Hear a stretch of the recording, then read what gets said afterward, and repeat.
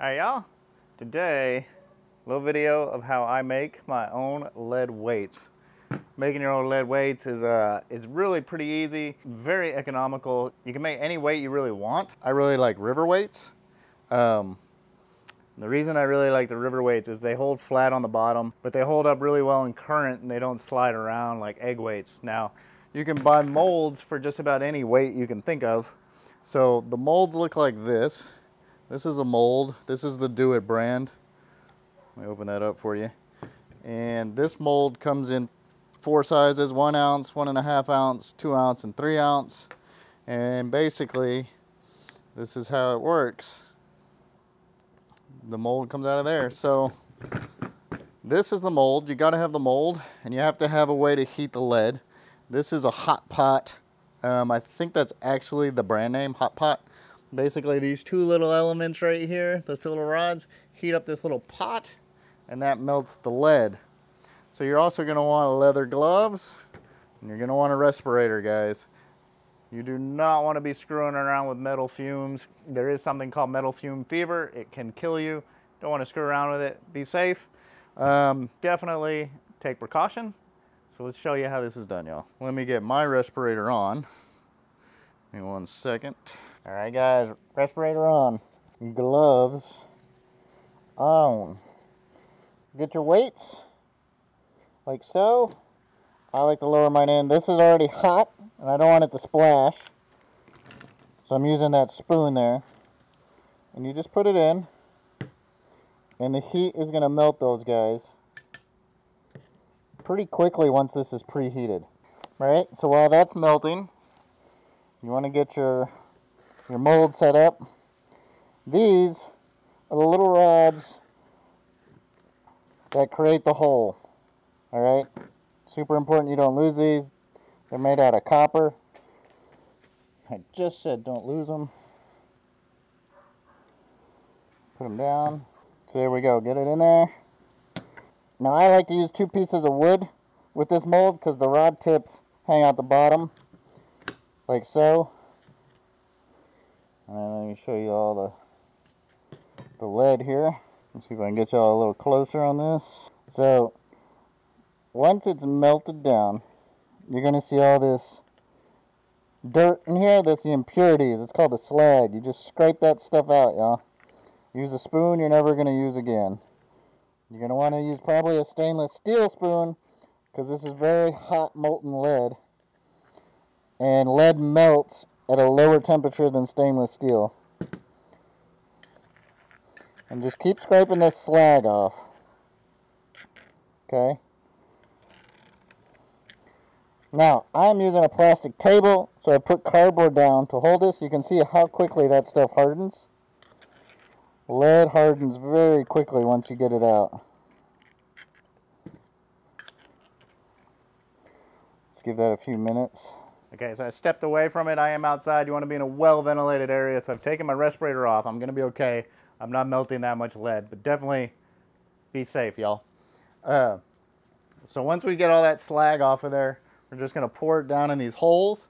You need to pour it quickly but carefully because the lead hardens very quickly. So if you pour it too slowly, it'll harden right in the funnel tip. You won't be able to get the liquid lead further down because it's hardened and close the gap. So you got to pour it at a pretty steady pace, which is why I like this little hot pot. It's a really good, easy size to control. Um, I've seen guys use like big cast iron skillets and stuff. The skillet's so heavy that it's very hard to pour into the mold at a timely manner. So I really do suggest that. The mold I believe I got for about $35. The pot I think I paid 60 for it. And the lead, the lead here, this is an old cast net of mine. Some lead weights I found laying around. You can melt all these down as well. Uh, or you can go buy lead. I believe it's called an ingot. Uh, it's literally just a block of lead. You can go buy them at a lot of tackle shops. You can buy them online. You can get them on Amazon. Um, I've heard some people get lead from tire shops, I guess wheel balancing uh, pieces. I've never done that, but I hear you can do it. All right, guys, so let's go ahead and pour this now. She has done. Respirator back on. So I'm going to get the last of the slag off of here. Comes off in a little film.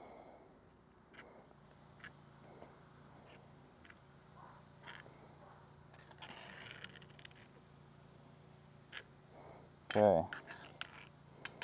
There we go.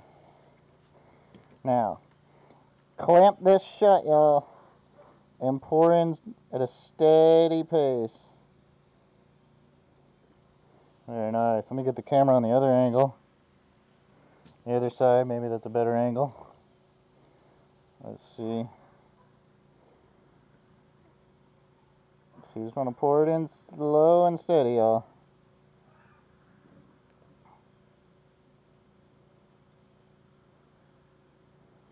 There we go. So give that about five seconds. And you just open it up. And there's your lead weights, y'all. Just like that. Take that off. Now you will see, these are going to be very hot. That's why you want the leather. You pull those out. You're going to want a pair of pliers to pull off this little piece. And you melt that back down. Quick little way to make your own weights. Just pull those out, break these off. Boom. And there we go, y'all. So you will see how some of these have marks on them. Some have a little bit of a crack, little deformations on them. That's okay. Those deformations are really because of the speed at which I was pouring and the amount of impurities that were still in the lead, but doesn't matter, y'all. Those are gonna work just fine.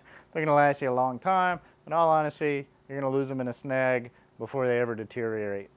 So, there we go, guys. Quick little tip of how to make your own lead weights. So one other thing, guys, if you are not sure if you actually have lead, like if you grabbed your old cast net, some cast nets come with stainless steel, um, stainless steel weights. But if you take something like a spoon or a knife and you can score it like that, that's lead. Lead is very soft, just like that. So that's how you know if it's lead. If you can't do that, then you're probably looking at steel. And um, I don't know what the heating temperature is of steel, but you're not gonna heat it up with a hot pot, so make sure you got lead.